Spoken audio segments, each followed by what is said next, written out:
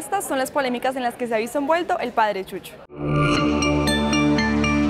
El sacerdote Jesús Hernán Orjuela, más conocido como el Padre Chucho, generó gran revuelo este fin de semana cuando afirmó que le pidieron un exorcismo en la Casa de Nariño. Esto con tal de que el nuevo gobierno comience su mandato con la bendición de Dios. El religioso salió luego a retractarse de estas declaraciones.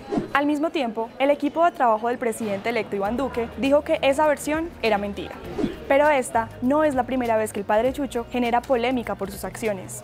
Durante varios años, el sacerdote Orjuela se enfrentó a los estrados judiciales por las multitudinarias misas que realizaba en el Parque de Castilla en la localidad de Kennedy. El clérigo fue acusado por no contar con los permisos necesarios para realizar este tipo de eventos en espacio público, así como de generar mucho ruido y afectar la movilidad de la zona por la alta influencia de vehículos.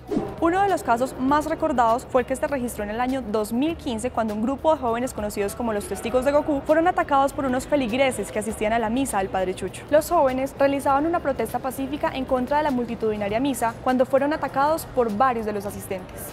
A raíz de este hecho, el Juzgado 13 Civil de Bogotá en 2016 prohibió al sacerdote realizar este tipo de eventos en espacios públicos sin la documentación respectiva. En respuesta, el presbítero le aseguró a un canal de televisión durante una de sus misas que no tenía por qué pedirle permiso a ningún alcalde.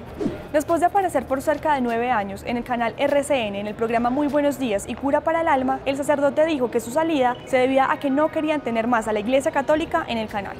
Orjuela generó revuelo nuevamente en las redes sociales cuando apareció en el grupo de participantes del reality show Tu cara me suena. El clérigo se sometió a varias transformaciones físicas para poder personificar a los cantantes Roberto Carlos, Beto Cuevas, Jorge Celedón y Andrea Bocelli. Varios sacerdotes lo criticaron por su participación en el reality. El padre Chucho debe responder por sus comportamientos y obligaciones a su obispo inmediato. En este caso, es el obispo de Fontibón, Juan Vicente Córdoba.